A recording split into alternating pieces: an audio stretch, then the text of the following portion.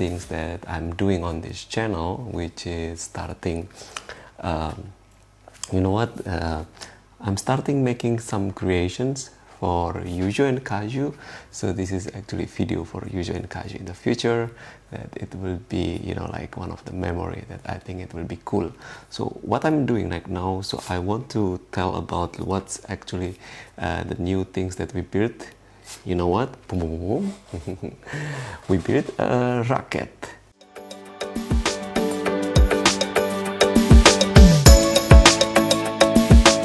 And this is one of the things that nowadays i think it's give more fun for me as a parent instead of them but they are also very happy.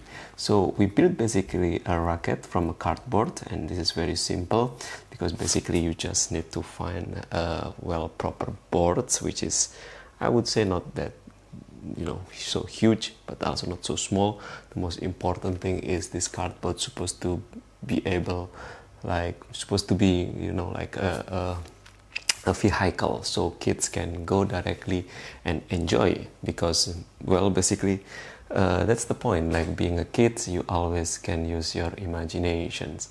And here by having imagination means you have to help your kid to jump in inside so well how it looks like so hmm, i have a lot of interesting stuff here and uh, what's things that it's need to be that you need to have as the first thing. Let's see our and it's turned out it's very helpful to have all the tools. Uh, I don't know how we call it, but this is uh, a glue that like getting warm when you're warming up, warming it up. And this is actually one of the investment that I think it will be worth invested and well paid because then this will really help you making a cardboard it will stick really well the board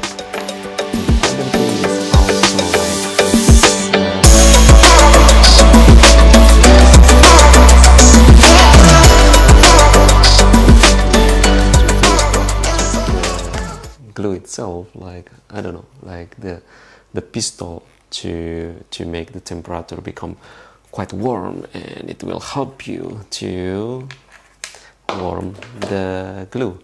And so what's the thing? The first thing basically of course you need to have a board. Uh, I try to find it on my basement to find like what type of board that is still there and I think it would be you know like something that this type of fun activity is you don't have to pay a lot for these toys. So find any board the other thing is also like the most important is having like well structured uh, design and plan. And this is not something that you should make it in the way that it has to be uh, you know sophisticated. The first beginning is also just created. So it has to be a box that you know like kind of box that will be in a rectangle and a cube and then you put the most important is like the wings here and also the top here. And then make a hole and the kids can jump in and yeah it's fun. And also to make it much more fun me and my wife we also put some aluminum foil on it and wrap it and yeah it's turned out it's super super cool and kids really like it. So uh, it's uh, one of the activity that I think uh, very cool and I would like to continue in the future. So yeah so it's giving like a conclusion it's like when the kids they growing up they for sure will ask to you know like to parents uh, what actually uh, cool things that your parent did for you when you're small. And well at least if one of them the checklist is related with making a racket a cardboard uh, then you you've done it you created it and it's so cool.